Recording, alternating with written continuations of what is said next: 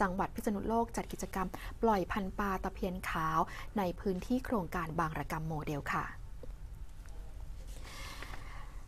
เมื่อวันที่ 10 กันยายนที่ผ่านมานะคะณหมู่ 10 ตำบลท่าช้าง อำเภอพรมพิราม จังหวัดพิษณุโลก ทางด้านของนายภูสิทธิสมจิต ผู้ว่าราชการจังหวัดพิษณุโลก พร้อมด้วยนางสาวทัศนีเมืองแก้ว ผู้ตรวจราชการกระทรวงเกษตรและสหกรณ์เขตตรวจราชการที่ 17 หัวหน้าส่วนราชการ ผู้นำท้องที่ผู้นำท้องถิ่น ร่วมกันปล่อยพันธุ์ปลาตะเพียนขาวจำนวน1ล้าน20,000ตัว ลงในพื้นที่โครงการบางระกรรมโมเดล เพื่อเพิ่มประชากรปลาในแหล่งน้ำต่างๆทำให้เกษตรกรได้มีอาชีพเสริมจากการจับปลา หรือผลิต ตภัณฑ์แปรรูปจากปลาจำหน่าย รวมทั้งนำไปบริโภคในครัวเรือน ในห่วงเวลาที่ทุ่งบางระกรรมโมเดลเป็นพื้นที่หน่วงน้ำทั้งนี้นะคะด้วยกรมชนประทานและหน่วยงานในกระทรวงเกษตรและสหกรณ์ได้บูรณาการร่วมการบริหารจัดการน้ำแบบชุมชนมีส่วนร่วม ในทุ่งหน่วงน้ำบางระกรรมโครงการบางระกรรมโมเดล เป็นการปรับแผนการเพาะปลูกฤดูนาปีค่ะ มีการเริ่มเพาะปลูกเดือนเมษายน